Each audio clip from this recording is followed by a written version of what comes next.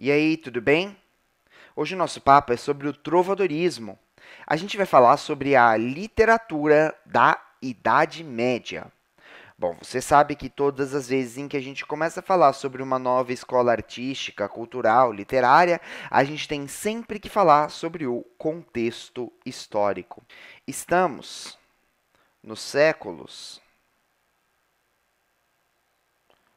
12 ao século XV.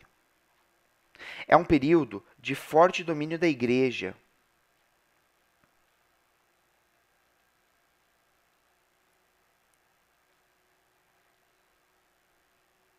Um período em que o pensamento é o pensamento teocêntrico, é o teocentrismo.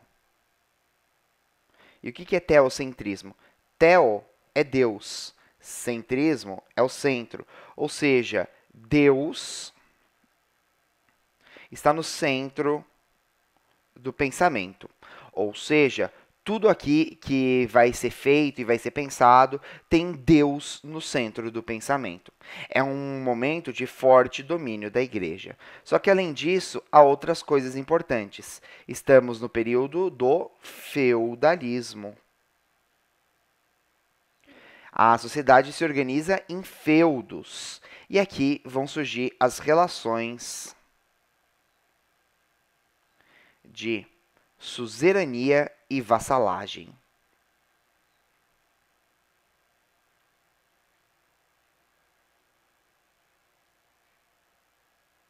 Entre os senhores feudais. Então você vê que a gente está na Idade Média, a gente está em um período de forte domínio da igreja, a gente está em um momento de teocentrismo. Bom, você está entendendo o que está acontecendo no mundo. Agora a gente precisa entender quais são as características fundamentais desse movimento. Então vamos lá. Características fundamentais do trovadorismo. No trovadorismo, a poesia, a arte, ela é feita sempre, sempre, sempre com um acompanhamento musical.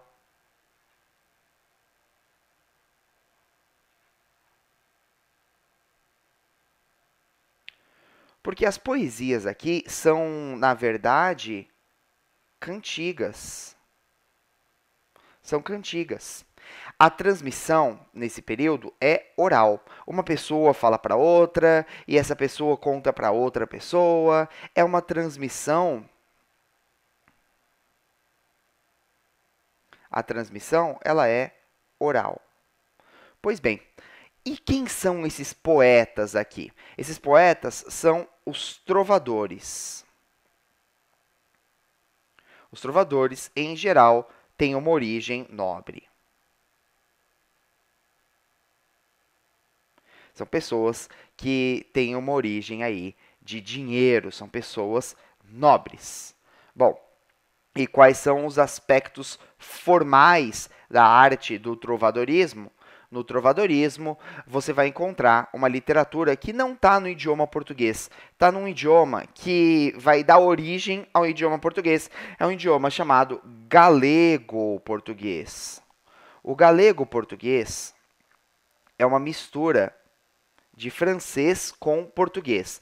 Então você vai encontrar esse idioma aí, o galego-português. Exatamente por isso, eventualmente você vai ter um pouquinho de dificuldade para entender os textos do trovadorismo. Outra característica importante, outro aspecto da forma do poema, da cantiga do trovadorismo que é importante, é o tal do paralelismo. E o que é o paralelismo? O paralelismo é quando há uma repetição parcial dos versos. São aqueles poeminhas em que os versos vão se repetir parcialmente.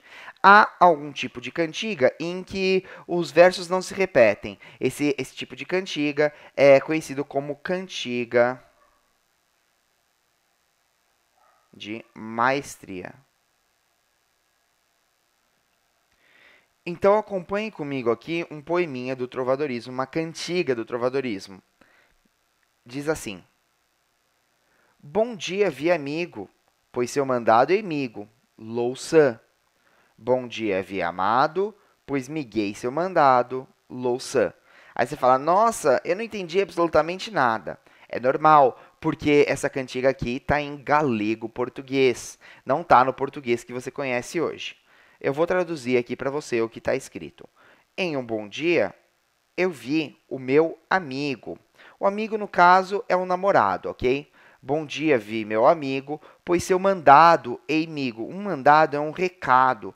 Então, essa moça aqui que está falando nessa cantiga, ela recebeu um recado do seu amigo, do seu namorado. E exatamente por isso, o dia dela é um bom dia e ela está louça. O que é estar louça? Está com a pele de louça. Ela está feliz, ela está se sentindo bonita. Um bom dia, viu, meu amado, pois recebi o seu mandado, estou louça, estou com a pele de louça, estou feliz, estou bonita, estou alegre, estou contente. Mas o que eu quero reparar com você aqui não é nem o que está sendo tratado no assunto desse texto, é exatamente a forma dele. Eu quero observar com você a repetição dos versos.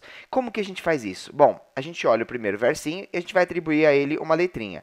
Bom dia, via amigo, a gente vai chamar de A. A gente olha o próximo versinho e a gente fala, repete alguma coisa aqui do primeiro para o segundo, bom dia, via amigo, pois seu mandado é amigo. Não repete nada, é um verso bem diferente, a gente vai chamar esse verso de B. A gente vai na próxima estrofe e a gente olha lá, ó, bom dia, vi amado. Bom dia, via amado. A gente já viu isso daqui, né? Bom dia, via amado. Bom dia, via amigo. É bem parecido, não é? A gente vai chamar isso aqui de a linha. E a gente olha o próximo versinho.